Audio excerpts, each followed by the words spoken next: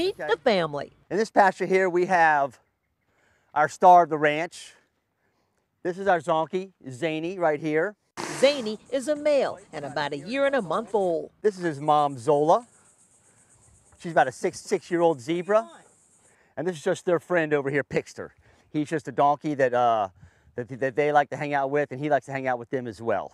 Zany, Zola, Picture, and Zany's father, Dom, a miniature donkey, all live together here at Coast Stable in Palm City. Ranch manager Thomas Cook tells me Zany is a special little guy, and he has the stripes to prove it. Yes, the stripes on the legs uh, were there prominently when he when Zany was born, but now he's starting to get stripes on his neck, on his hind end quarter back here, and also around his eyes. You can see little stripes coming around his eyes as well. Zany isn't shy at all. Want to feed her? Just keep no, keep your hand out flat, just like that.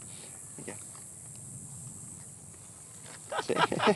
Thomas says the reason Zany is so special is because his mom is a zebra and his dad is a miniature donkey. In this case, the mom is a zebra and the dad is a miniature donkey. Usually it's the other way around. And where is dad right now? Dad is over there. We had to separate them because if we had them together, we would probably have about 100 zonkeys running around because uh, uh, they, they like the zebra.